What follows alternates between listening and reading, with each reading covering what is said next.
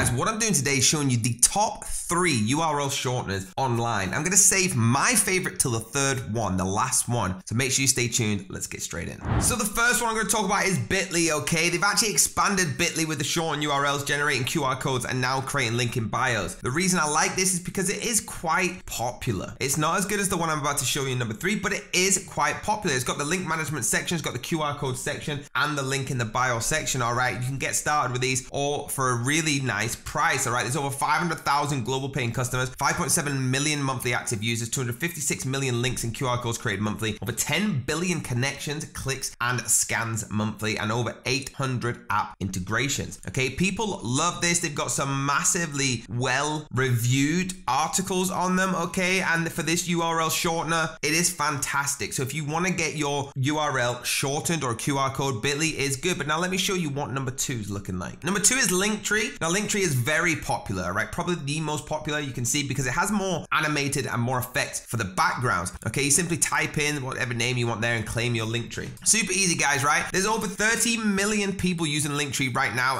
One of the links to help you share everything to create and sell. So if you have YouTube, Twitter, Instagram, all these different socials that you want in one nice link like you can see here with a QR code and maybe some digital animation, then Linktree is very, very good. Now, you can connect everything, TikTok, Instagram, Twitter, website, videos, music, podcast, everything you can think of, all into one fantastic Linktree platform. Okay, you can share this simply with a URL shortened link and they click on that and everything comes up. It's got a lot of different analytics, okay, that you can keep and track on. But guys, I want to spend more time on the next one because the next one is my favorite and it is the better price. And the link down below is going to get you our exclusive deal. So let's get straight in to what I've got for number three. Number three is Prime Link. Now, Prime Link is blowing up everywhere, okay? You can see I use it all the time. If you type in a massively long URL and press shorten, it will instantly shorten, okay? As much letters as you want, okay? Look how big that is. Click that you're not a robot, press shorten, and guess what? You now have an incredibly short URL link. That's how amazing this is. It transforms your link management with connection platforms more than just a free URL shortener, okay? So it's everything Linktree and Bitly have in, but plus a lot more, okay? Smart targeting, in-depth analysis, digital experience, all right? They've got the animated looks that you need to redirection tools, powerful statistics, beautiful profiles, everything, okay? They just go in detail plus more. They have custom landing pages, CTA overlays, event tracking, robust APIs, branded domain names, team management. The integrations have every integration you could think of Pinterest, Twitter, Word, Bing, Reddit, LinkedIn, Facebook, okay, TikTok, AdRoll. Now, for this, there's over 154,000 links powering, over 820,000 clicks serving, and trusted by over